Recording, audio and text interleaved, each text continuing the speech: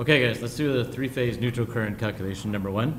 Uh, In this example, you have uh, a Y secondary feeding three separate loads here, one at 30 amps, the second is feeding a load that requires 30 amps, and the third is feeding a load that requires 30 amps as well.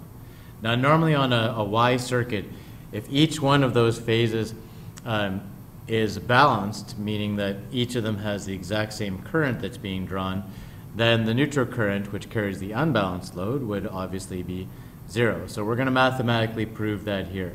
So what we've done is we've put the angles at which each of those currents vectors are happening. So the first vector we have happening at zero degrees, right? So that's our A phase, and that is at 30 amps. We have the second current happening here at 120 degrees. And again, the magnitude is 30 amps. And the third vector is happening at 240 degrees, and its magnitude is 30 amps. Okay, so each of these guys is 120 degrees out of phase for each of our three phases. If we look at where we're going to end up, well, if we draw in the x and y axis and we draw in those three vectors, if we start here with vector A at 0 degrees, then we draw in vector B at 120 degrees, and vector C at 240 degrees, well, we end up at the exact same point at which we started. So there is no difference in potential between those two points, and so the current on the neutral will end up being zero. Now, each of these three vectors here, the one on A, B, and C, they're happening on different planes. This one's happening on zero degrees, this one's happening at a completely different angle, and this vector is going off at 240 degrees. So what we need to do is we need to break these guys down into their x and y components, the things that they actually share. So if we draw in the x and y axes here, then they have coordinates that are shared between the x-axis and the y-axis. Now let's start with vector A here. Just drawing A, B, and C. So let's start with A here. A is sitting right on the x-axis. So all of that current should be here on the x-axis. And the equation for the x component is cos of the angle times the hypotenuse. Okay, the, the way that, or where that comes from, is if we have the cos, that's supposed to be the adjacent over the hypotenuse, right? The adjacent is the x component. So in order to find the x component, we're going to do cos of the angle times the hypotenuse. If we are looking for the y component, well, the y component is the same as the opposite. And sine has both opposite and the hypotenuse within the same Ohm's law triangle circle here. So if we're looking for the y component, it'll be sine of the angle times the hypotenuse. Okay, so for this guy, we'll do cos of 0 times 30 amps. And here we'll do the sine of 0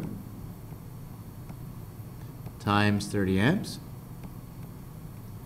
This ends up giving, giving us 0 because there is no opposite here. It's all sitting on the adjacent. And here, this will give us 30 amps, all on the x-axis. Okay. This value is positive because it's on the right-hand side of the x-axis. Okay, if we continue on here, the x component of b is equal to the cos of 120 degrees times 30 amps.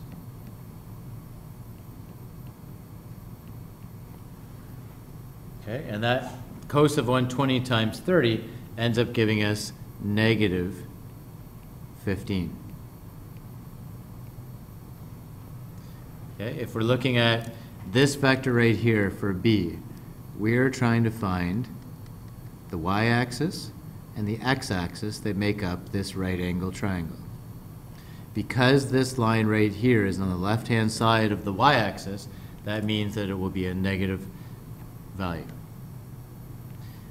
The y component here is above the x-axis, so the y component should be a positive value. So we find the y component for b, it should be the sine of 120 degrees times 30 amps. And that ends up giving you positive 25.98. If we look at the third vector here for C, you can see that it has both an x component and a y component. The x component should be negative, and because the y component is below the x-axis, this should be negative as well. This value and this value are a mirror image of each other, so they should be the same. This value is shared between this vector for b and this vector for c. So let's figure this out. If we look for the x component for c, it is the cos of 240 times our hypotenuse of 30 amps. Gives us an x component of negative 15, so that matches with what we thought. It was going to be a negative value. And if we look at the y component for c, that is the cos, uh, sorry, not the cos, the sine.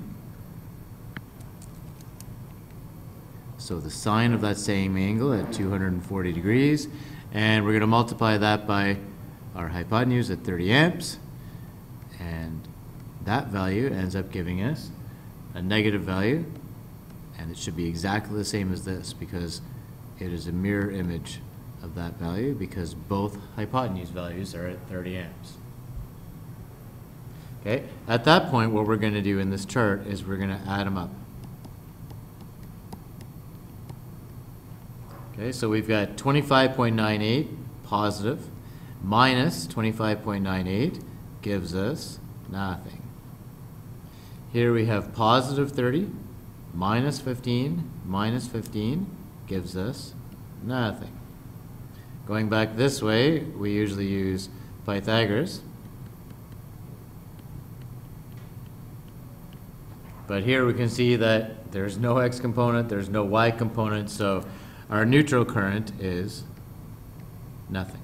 And this has no angle whatsoever because there is no current.